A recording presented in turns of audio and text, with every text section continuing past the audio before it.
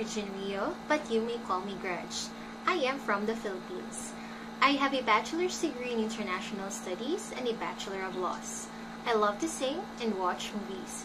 I have had previous teaching experiences, although not ESL, where English was the medium of instruction. I have also been a part-time proofreader editor of students' English essays. Students should pick me as their tutor because I possess the education and experience that can help me in sharing what I know of the English language. I also believe that I have the skills needed to effectively deliver the lessons.